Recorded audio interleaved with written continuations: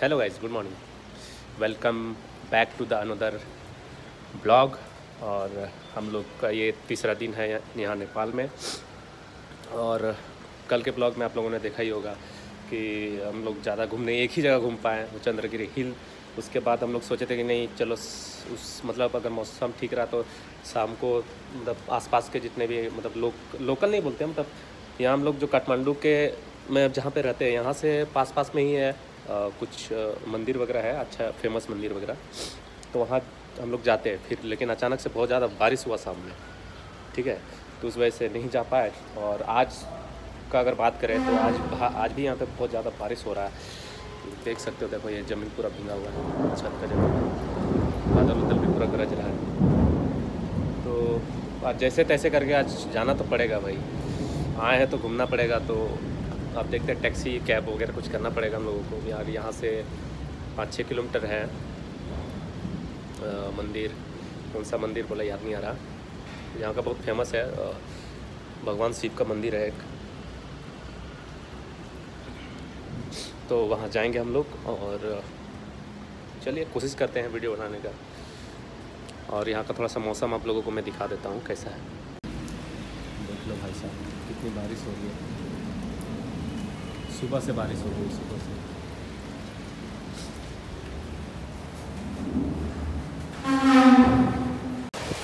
लोग बारिश में ही ट्राई कर रहे हैं अब जाने का। ये पास में अपनी टैक्सी है ये वाली। तो क्या करें, बारिश आज और कल, परसों मतलब दो तीन दिन तक और बारिश रेगुलर होने वाला है, जहाँ तक वेदर रिपोर्ट बता रही है। तो बात करके आप।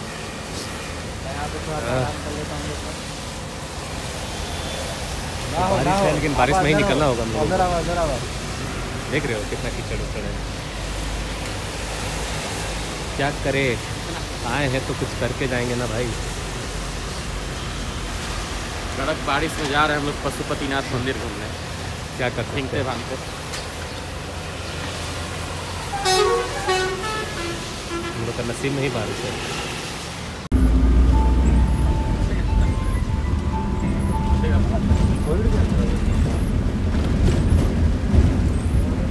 टैक्सी तो नहीं मिला बट बस में हम लोग बस से ही जा रहे हैं हम क्या करें? बस में थोड़ा सस्ता भी पड़ेगा।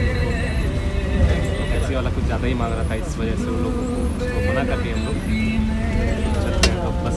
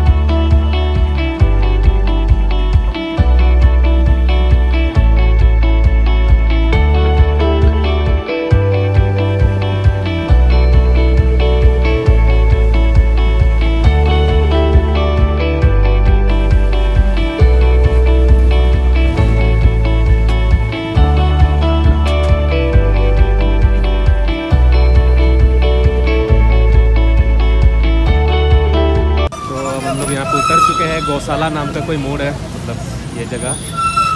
और यहाँ से हम लोग अब जाएँगे पशुपतिनाथ टेंपल की और ये रहा वो, शायद इस तरह रास्ता नीचे तरफ़। और यहाँ आने में लगभग हम लोगों को आधा घंटा से ज़्यादा लग गया, बस से सफ़र करते हुए। ओहो, पानी पूरी खाया जाए क्या? अरे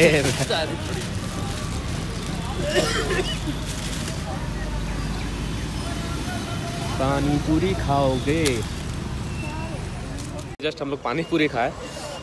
और पानी पूरी भाई यहाँ प्लेट हिसाब से है। एक प्लेट में वही चालीस रुपया करके लिया ठीक है? और चालीस रुपया में आठ आठ पीस वो पानी पूरी होती है। तो समझ सकते हो एक पानी पूरी का पाँच रुपया यहाँ पड़ा। वो भी छोटा छोटा था। नेपाली इस तरह होते हैं छोटे छोटे उस तरह छोटा छोटा एकदम बहुत छोटा छोटा था। ठीक है मतलब बहुत कोई इससे भी आता ना दूर से इस अच्छा इसको धाम बोलते हैं ना पशुपतिनाथ धाम। जैसे इंडिया में हम लोग का चार को धाम है ना सेम यहाँ पे भी लॉर्ड शिवा का मंदिर पशुपतिनाथ धाम।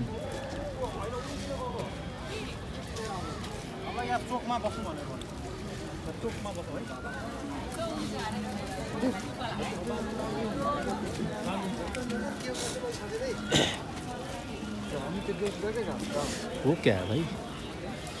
शिवलिंग टाइप का कुछ बड़ा सा बना हुआ है।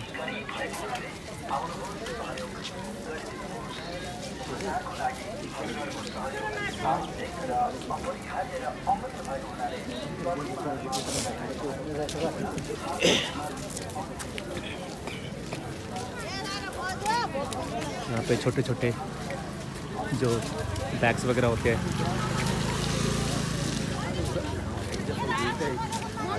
बहुत सारे रुद्राक्ष सब असली है ना? हाँ देख के भी असली ही लग रहा है। बड़ा बड़ा।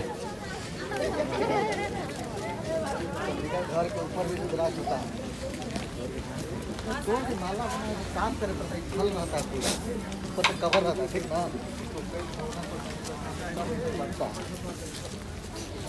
रुद्राक्ष तो फल है फल।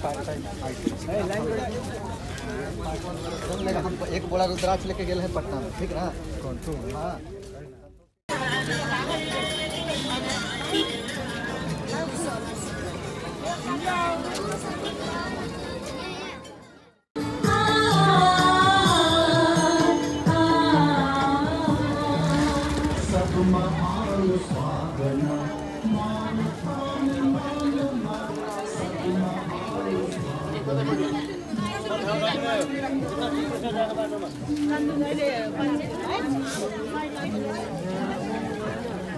पूजा का सामान ले लेते हैं थोड़ा बोल्दै त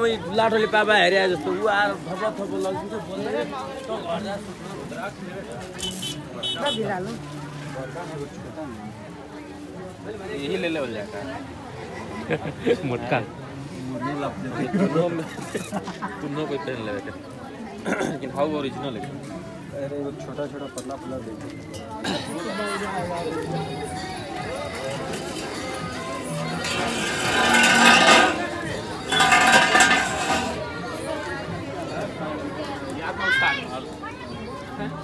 पैर में पहने वाला था हाथ में पहने वाला गेला तो मुझे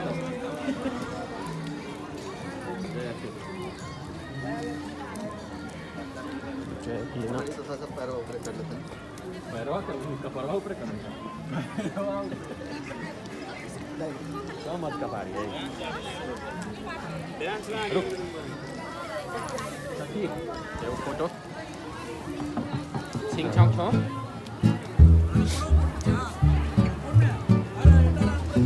काफ़ी खूबसूरत लग रहा हो।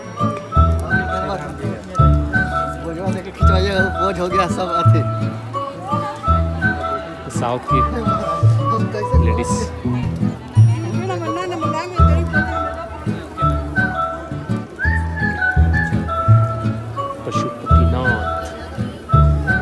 सारा कबूतर है।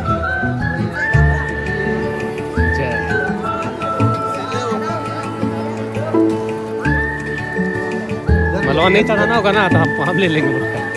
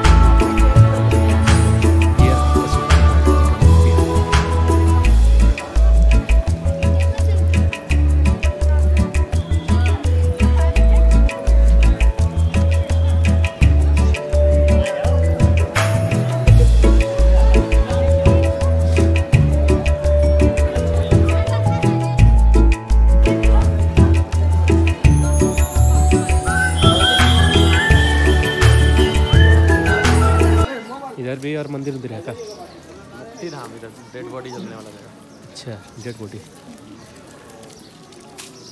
नो पार्किंग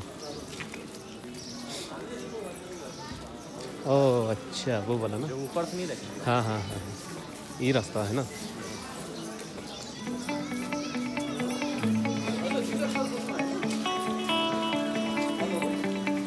विश्व संपदा सूची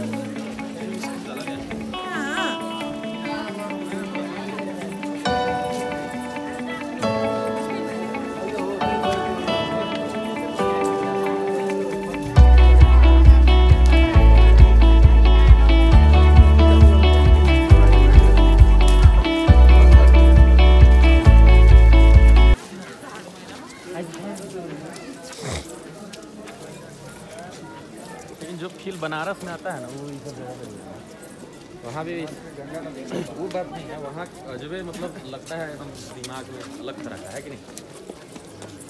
माहौल से ऐसा लगता है जी। वहाँ का जो माहौल रहता है ना इस वजह से अच्छा फीलिंग होता है। अबे ऐसा डरा दे रहा। वही तो इसीलिए हम फ़ोन छुपा लिए थे।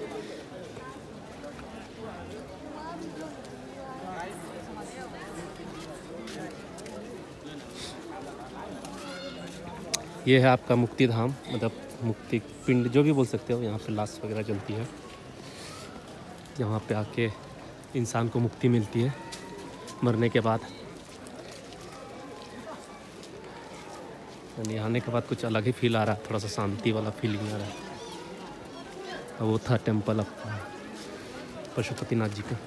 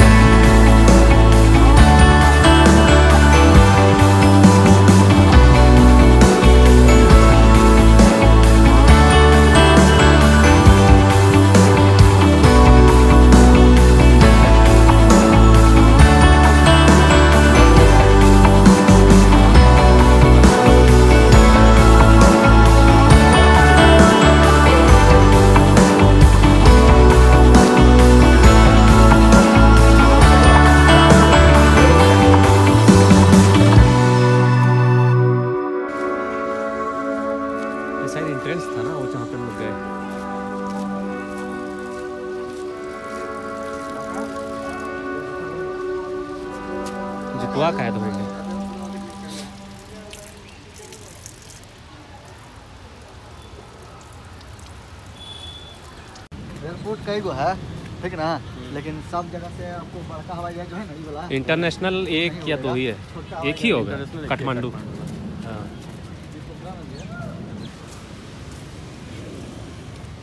जितवा देखो कितना बाल है।